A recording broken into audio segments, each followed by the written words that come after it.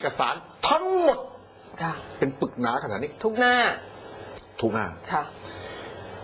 ผมได้ทำการแปล โดยมีคนมาช่วยแปลภาษาไทยเป็นค่ะ ภาษาเขมรแล้วก็ภาษาแปลภาษาไทยเป็นภาษาอังกฤษ ค่ะ แล้วผมก็รับรองรับรองทั้งหมดเอกสารปึกนี้เตรียมการในการสู้ให้ ค่ะ แต่เอกสารทั้งหมดนี้เนี่ย ไม่ถึงมือคุณวีระ เพราะในเรือนจำปรีซอเนี่ยไม่ให้กระดาษแม้แต่แผ่นเดียวเอาเข้าไปอืมไม่ให้ปากกาไม่ให้อะไรให้คุณวีระแม้แต่ทั้งสิ้นค่ะให้คุณวีระดูเอกสารก็ไม่ได้เลยนำเข้าเอกสารก็ให้ตรวจสอบพยานหลักฐานก็ไม่ให้ทำ ค่ะ แต่เขาจะทำได้โดยหลักก็คือ ทนายความของคุณวีระที่เป็นคนกัมพูชานั่นนะค่ะ สามารถทำได้ แต่เขาแต่เป็นคนกัมพูชาแต่เขาคนกัมพูแล้วเขาไม่ทำให้เรา ค่ะอืม คุณวีระเรียกร้องทนายก็ไม่ทำให้ แล้วที่สำคัญตัวร้ายที่สกัดคือไอ้เจ้าทูตไทยประจำกรุงพนมเปญนี่แหละ มันไม่ยอมให้ความช่วยเหลือ คือคนกัมพูชารักชาติเนี่ยอ่ารักชาติเขาเนี่ยก็โอเคอ่าก็คือสมเหตุถูสกมต้องผล แต่ทูตไทยเนี่ย คือโดยหลักแล้วเนี่ยนะ คนไทยชื่อว่าวีระราตรีค่ะประกาศตัวสู้เพื่อแผ่นดินอืมประกาศตัวยืนหยัดต่อสู้ถึงที่สุดค่ะโดยหลักแล้วไอ้ทูตไทยรัฐบาลไทยเจ้าหน้าที่ทางการไทย มันจะต้องเสิร์ฟทุกอย่าง ใช่อำนวยความสะดวกทุกเรื่องค่ะช่วยด้านข้อมูล ช่วยด้านพยานหลักฐาน หาทุกสิ่งทุกอย่างแวดล้อมเพื่อช่วยให้คุณวีระประสบความสำเร็จในการต่อสู้ เพราะต่อสู้เรื่องของแผ่นดิน ถูกต้อง ไม่ใช่เรื่องส่วนตัว ใช่แล้ว แต่ปรากฏว่า ขัดขวางทุกเรื่อง ค่ะ ขัดขวางทุกอย่าง ขัดขวางทุกทาง ปิดกั้นสกัดทุกเรื่องทุกทาง ไม่ให้สิ่งเหล่านี้เกิดขึ้นค่ะดูสิคุณพัชชาผมว่าเป็นเพราะมัอะไร มันมันบ้าแล้วอะค่ะมันสุดๆแล้วอะไอ้ประเทศเรานี่ทำไมมันเป็นอย่างนี้รั ฐบาลไทยแทนที่จะเห็นคนไทยไปสู้เพื่อแผ่นดินค่ะนะสู้เพื่อบ้านเมือง สู้เพื่อประเทศชาติ สู้เพื่อเขตแดน ยืนหยัดเอาตัวเองโถมเข้าสู่การต่อสู้นี้ โดยเสียสละอย่างเต็มที่ ไม่คำนึงแม้แต่ชีวิตของตนเอง ชื่อว่าวีระราตรีเนี่ยนะมันต้องส่งเสริมสนับสนุนในการต่อสู้ แต่มันกลับบนทำลายกัดกร่อนสกัดกั้นวิธีปิดทางทุกวิถีทางและ ใส่ความทำร้ายให้เขาด้วยซ้ำ ทำร้ายการต่อสู้ทำลายการต่อสู้ ว่าแผ่นดินนี้มันตรงนั้นนะมันเป็นของเขมรไป ค่ะ ดูสิ อืม มันชั่วสุดๆเลยนะแบบเนี้ยมันสุดหาคำพรรณนามาอธิบาย ค่ะ คุณพัชชาเอ้ยถูกสกัดกั้นทุกอย่างทุกทาง เราทำตอนนั้นแถลงข่าวบอก หาช่องหาทางทำยังไงก็ตามยากสุดขีด ค่ะ เพียงแต่คุณวีระอย่างที่ว่าได้ เคยเป็นพยานศาลกรณีประเภทนี้เนื้อหาทำนองนี้ที่ศาลนักร้องค่ะ แล้วคุณวีระทำยังไงต่อสู้ยังไงอะคะผมน่ะ เอกสารก็ไม่ได้เข้าไปที่ คืนวันที่หนึ่งกุมภาพันธ์สองกุมภาพันธ์เป็นวันขึ้นศาลค่ะที่จะเบิกตัวคุณวีระจากเรือนจำมาขึ้นศาลเอาตัวคุณวีราตรีจากอ่าสถานทูตสถานทูตไปศาลค่ะเพื่อฟ้องสี่ข้อหาที่ว่า คืนนั้นเนี่ยนะครับเอกสารพร้อมหมดทั้งหมดเนี่ยคุณราตรีก็เราลำเลียงเอกสารให้คุณราตรีดูเป็นลำดับค่ะลำดับที่สถานทูตเอกสารชิ้นนี้เสร็จแล้วอธิบายคุณราตรีคุณราตรีเอาไปดู เอกสารชิ้นนี้เสร็จแล้วให้คุณราตรีคุณราตรีเอาไปดูตรวจสอบ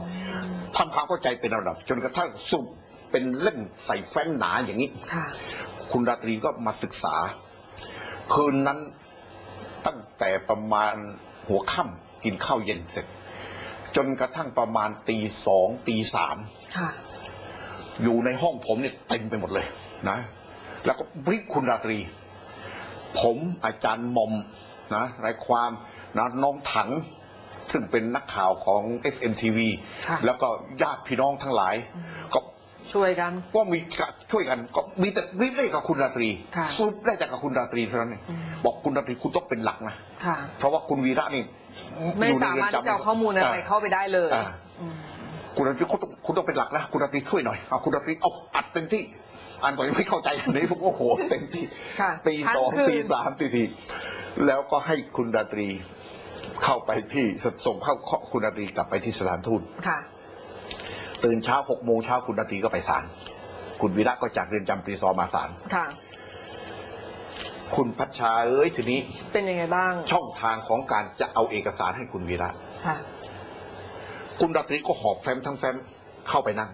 ค่ะ อาจารย์การุณอาจารย์หม่อมหรือคนอื่นๆ ท่านอื่นๆได้เข้าไปด้วยไหมคะ ในศาลใช่ไหมตอนในศาลไปใช่อ๋อเต็มได้หมดไปได้วันเที่ยวนี้ให้เข้าอะนั่งในห้องพิจารณา ค่ะ แต่ให้นั่งด้านหลังมานะทูตไทย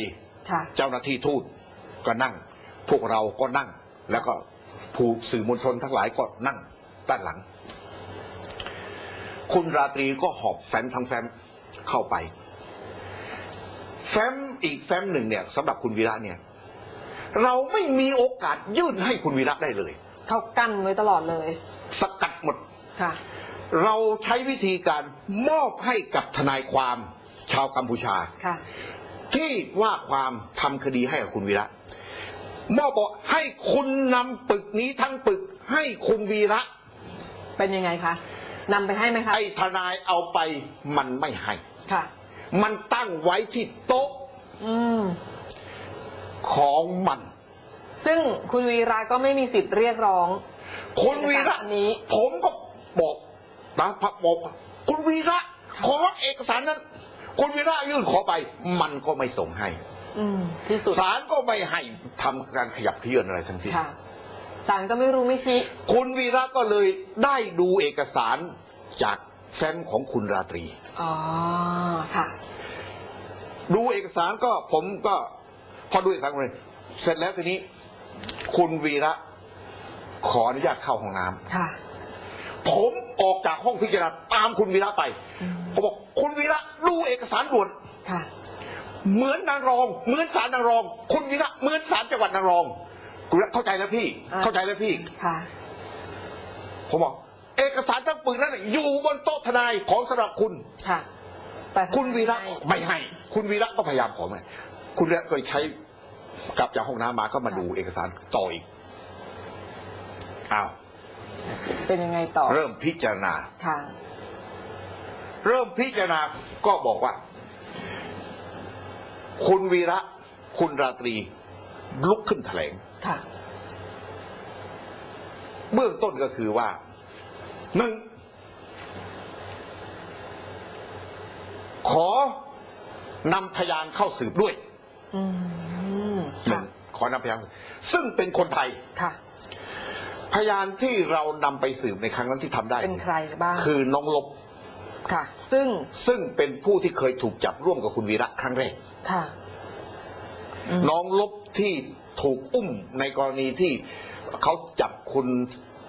ชัยวัฒน์สินสุวงศ์กับคุณสมบูรณ์ทองโบราณที่ร้านสุกี้ตุกี้อ๋อ แล้วก็น้องลบเนี่ยถูกจับไปด้วย ค่ะในข้อหาว่าต่อสู้ขัดขวาง และคดีก็ชนะแล้ว ผมว่าค่ะความให้เรียบร้อยชนะแล้ว ค่ะ และบัดนี้น้องลบก็ฟ้องไอ้ตำรวจนั้นน่ะในข้อหาปฏิบัติหน้าที่มิชอบ และศาลก็มีคำสั่งประทับรับฟ้องแล้วด้วยไต่สวนมูลฟ้องแล้วประทับรับฟ้องแล้วด้วย แล้วก็จะสืบพยานในเดือนมีนาข้างหน้านี้ อืมค่ะ เอาละ น้องลบเป็นพยานให้ฝ่ายเรา ค่ะ แล้วก็ท่านนายกอบต นายกอบต ที่เป็นลูกเขยของอานายหมาค่ะ ที่มีที่นา มีหลักเขตอยู่ที่หลัก 46 อะไรค่ะต่างๆเหล่านี้ เอาละพอแถลงเท่านั้นนะครับศาลบอกว่า ไหน พยานยืนขึ้นสิค่ะเออนายกอบตกับน้องลบก็ลุกขึ้นยืนขึ้นค่ะ ศาลออกคำสั่งว่า ให้พาสองคนนี้คุมตัวไปออกนอกห้องพิจารณา อ้าวเพราะจะเป็นพยานศาลเอ่อ เพราะจะเป็นพยานศาลค่ะอืม เพื่อไม่ให้รู้ว่าการเบิกความการไต่สวนมีกระบวนการมีอะไรบ้างเป็นอย่างไรมีอะไรบ้าง มันจะได้ไปอยู่ข้างนอกก่อน ค่ะอยู่ข้างนอกแล้ว ค่อยมาไต่สวนทีละคน ค่อยค่อยค่อยนำตัวเข้ามา เข้ามาทีละคน ก็เอาพาสองคนนี้คือน้องลบกับนายกอบตเอ่อนายกอบตเนี่ยออกไปค่ะ ข้างนอกศาลในนอกห้องพิจารณาแล้วไปอยู่อีกห้องต่างหาก ค่ะไปอยู่อีกส่วนหนึ่ง คุณวีระกับคุณราตรีนะแถลงต่อศาลว่า ในการพิจารณาคดีที่ผ่านมา ค่ะ ไม่ว่าในขั้นตอนใดก็ตาม มีปัญหาอุปสรรคร้ายแรงคือค่ะ ล่าม ยังไงคะลาบหยังไงอะคะล่ามที่แปลภาษาเขมรเป็นภาษาไทย แปลภาษาไทยเป็นภาษาเขมรค่ะเวลาคุณวีระพูดภาษาไทยไปค่ะเขาก็จะแปลจากภาษาไทยเป็นภาษาเขมรค่ะให้ศาลให้อายการให้เจ้าหน้าที่เขาฟังค่ะแล้วเวลาศาลเวลาอายการเวลาเจ้าหน้าที่เขาเบิกความหรือเขาว่าอะไรก็แปลเป็นภาษาไทยอะก็แปลให้เราฟังภาษาเขมรเป็นภาษาไทยให้ฟังพวกเราฟังอืมคุณวีระกุลราตรีแถลงร่วมกันว่า มีปัญหาเกี่ยวกับเรื่องล่ามค่ะเพราะล่ามแปลไม่ได้สับ จับไม่ได้ความ แปลไม่รู้เรื่องไม่เข้าใจความหมาย แปลไทยเป็นเขมรก็ไม่รู้แปลถูกแปลผิด และทางนู้นก็ฟังแล้วทราบผิดทราบถูกก็ไม่รู้ เพราะซักไปซักมาอยู่เรื่อยอืมคุณวีระก็เลยบอกถ้าซักไปแล้วอย่างนี้ แสดงว่าแปลไม่ถูกแสดงว่าต้องไม่เข้าใจกัไม่เข้าใจกัน แล้วในขณะเดียวกัน เขาแปลภาษาเขมรมาเป็นภาษาไทยให้คุณวีระฟังคุณราตรีฟัง ก็ฟังแล้วไม่เข้าใจ ฟังแล้วไม่ได้ความ ฟังแล้วไม่ได้สับจับไปแล้วไม่รู้ความว่าคืออะไรกันแน่ค่ะคุณวีระกุณราตรีแถลงว่าล่ามมีปัญหาค่ะเราบอกเราเรียกร้องตลอดเวลาตั้งแต่ต้นแล้วเรารู้ปัญหานี้ ขอร้องให้ทูตค่ะไทยประจำพนมเปญเนี่ยพนมขอร้องให้ทนายความของเราของของคนเขมรเนี่ยนะกัมพูชาเนี่ยแหละให้ทูตเพราะทนายความมันไม่ฟังคำสั่งใครเลย ไอ้ทนายเขมรสองคนนี้นะค่ะมันไม่ฟังคำสั่งของลูกความ มันไม่ฟังคำขอร้องของลูกความที่ชื่อวีระราตรี แต่ฟังทูตแต่ฟังคำสั่งของทูตทูตไทยเพราะทูตเป็นคนจ้างค่ะทูตเป็นคนหาค่ะทูตเป็นคนหาเงินมาจ่ายค่ะเพราะฉะนั้นไอ้ทนายสองคนมันจึงฟังคำสั่งทูตค่ะไม่ฟังคำสั่งเรา ไม่ฟังคำขอร้องของเรา มันจึงเราขอร้องอะไรให้ทำอะไร มันจะไม่ทำมันจะต้องไปถามทูตก่อน ทูตบอกให้มันจะทำถ้าไม่ให้มันก็ไม่ทำค่ะ สิ่งที่ผ่านมาทั้งหมดคือ ทูตมันไม่ให้ทำอะไรเลย เพราะแนวทางของทูตกับรัฐบาลไทย คือแนวทางยอมจำนน คือแนวทางขายชาติ คือแนวทางแผ่นดินนี้เป็นของเขมรค่ะ ชัดเจนมากหากผิดก็ขออภัยด้วย ค่ะ คงต้องออกมาชี้แจงนะคะทำนองนี้ค่ะหากผิด หากได้ทำผิดก็ขออภัยด้วย ขอให้ลงโทษน้อยหน่อยค่ะ นี่คือแนวทางที่รัฐบาลไทยทูตไทย มุ่งหน้าให้คนทุกคนสู้แบบนี้ มีแค่นั้นเอง แม้จะทำกับคุณวีระไม่ได้ทำกับคุณราตรีไม่ได้ เพราะคุณวีระคุณราตรี ยืนหยัดถึงที่สุด แต่ก็ใช้วิธีการสกัดกั้นไม่ให้เกิดการต่อสู้ได้นี่อืมนี่นี่เนี่ยมันเร็วอย่างนี้แหละไอ้ทูตไทยเนี่ยค่ะทีนี้ พอคุณวีระเรียกร้องต่อศาลอย่างนี้ เราบอกกับทูต ให้ขอเปลี่ยนเปลี่ยนพล่าวกเราเปลี่ยนล่าม พวกเราเนี่ยนะครับ เตรียมล่ามไว้ได้อย่างดี ค่ะ ล่ามคนนี้แปลเอกสารทำเอกสารร่วมกันกับผม ค่ะ แล้วเป็นคนที่พูดได้จะทำหน้าที่ล่ามได้ดีมาก คุณวรรณรี มีความคุณผู้เข้าหญิง ใจทั้งภาษาไทยและภาษากัมพูชาเป็นอย่างดี คุณวรรณรีคุณสมบัติของเขาเนี่ยนะครับ แต่ก่อนหน้านั้นเนี่ย คุณวรรณรีเนี่ยมาเป็นเจ้าหน้าที่ประจำสถานทูตไทยนั่นแหละประจำกรุงพนมเปญอ๋อเคยมาเป็นเจ้าหน้าที่อยู่ในนั้นค่ะเจอกับผมในกรณีคุณวรรณรีคือเคยเจอกับผมเคยร่วมทำงานด้วยกัน ตั้งแต่สมัยผมไปช่วยพี่น้อง 14 คนไทยออกจากเรือนจำที่กรุงพนมเปญในกรณีการกบฏของพลเอกสิงห์สงฆ์ เจ้าจักรพงศ์และก็พันตำรวจโทอดุลบุญเซิร์ที่ปลอมตัวนุ่งเกงขาสั้นใส่เสื้อยืดจ้างมอเตอร์ไซค์ขี่เข้วเข่งไก่หนีออกมาทางอ่าชายแดนสักแก้วไทยแดนเนี่ยค่ะกรณีการไปช่วยครั้งนั้นเนี่ยนะครับ ตอนนั้นคุณวรรณรีเป็นเจ้าหน้าที่ตัวเล็กๆนะครับเด็กค่ะๆเป็นเจ้าหน้าที่ที่แปลภาษาเขมรเป็นภาษาไทยไทยเป็นเขมร เป็นเจ้าหน้าที่อยู่ในสถานทูตไทยนั่นแหละค่ะ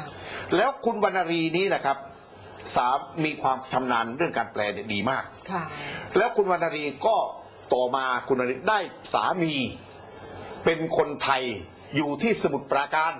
ค่ะแล้วก็มาอยู่ที่ประเทศไทยที่สมุทรปราการ